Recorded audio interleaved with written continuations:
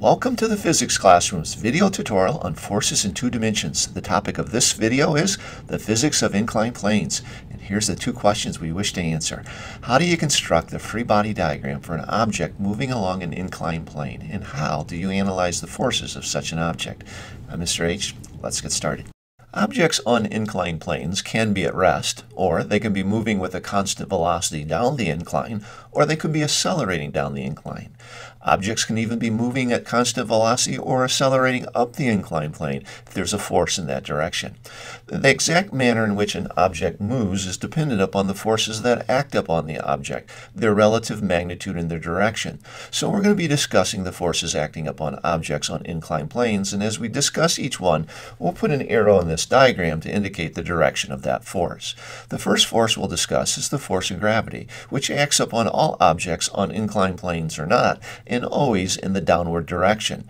Tilting the surface upward at an angle doesn't affect the direction of the force of gravity. It's always down. Now, when you place an object on this surface, the surface and the object interact with one another.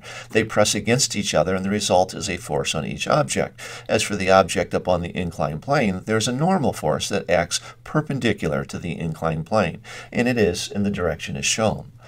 Then there's the force of friction. The force of friction opposes the motion of the sliding object, so if it's moving down the inclined plane, the force of friction would be up the inclined plane and parallel to it, as shown in the diagram.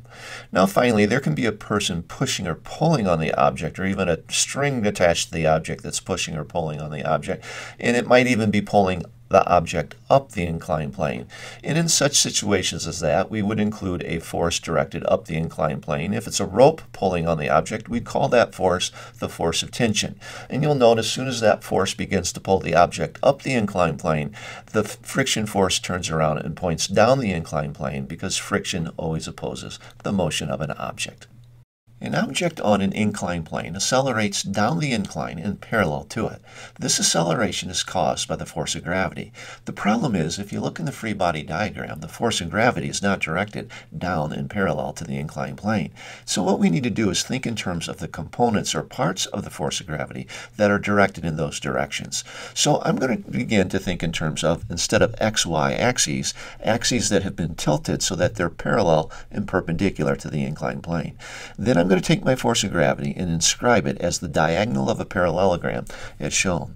And then I can draw the components or parts of the force of gravity, one of them parallel to the inclined plane and the other perpendicular to the inclined plane.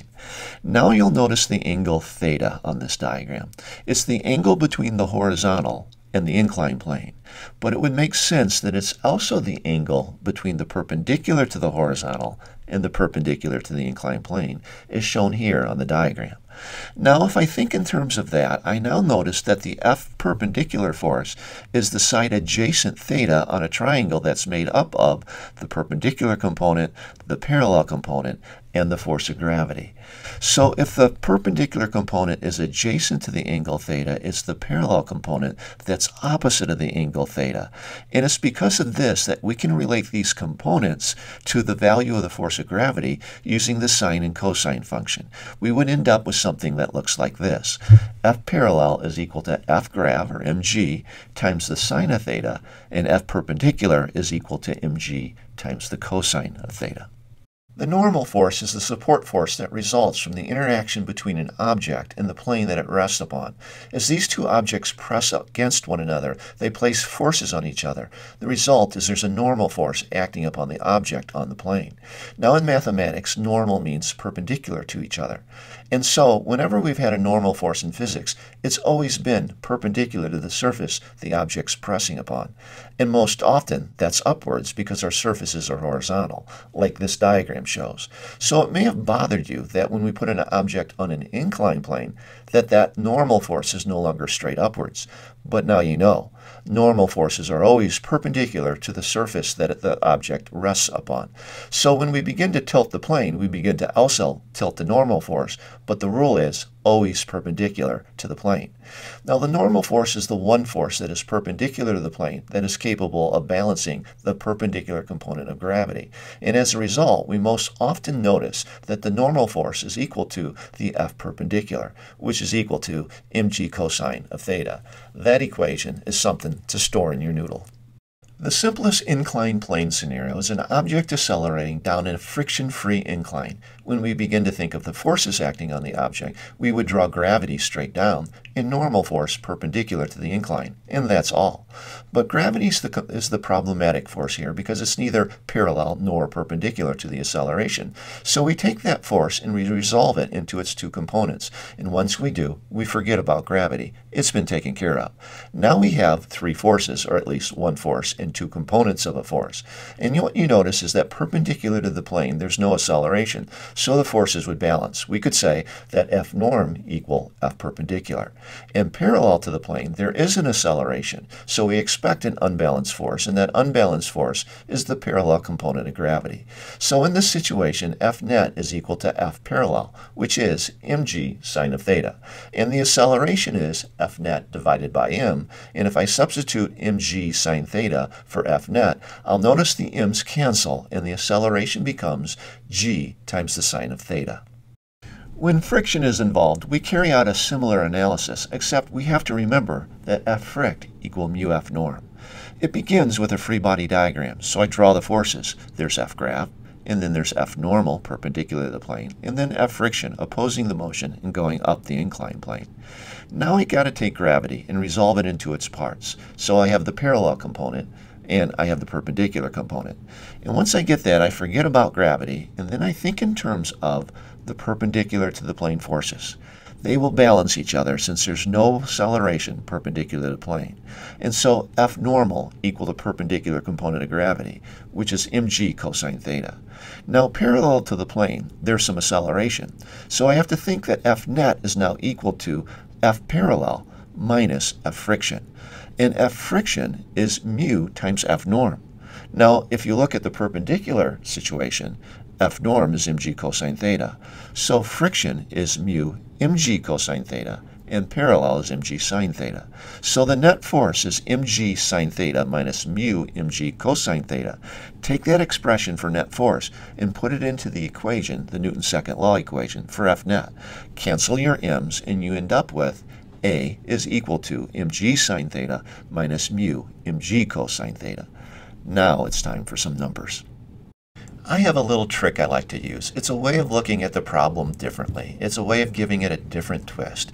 Here's the free body diagram for the problem that we just saw, with the three forces acting on it. And you'll remember, we take the gravity force and we break it up into its components. Now this is pretty good and a lot simpler than it was in the first diagram, but it's still not as good as it could be. I employ a trick that I call the tilted page trick or the tilted head trick.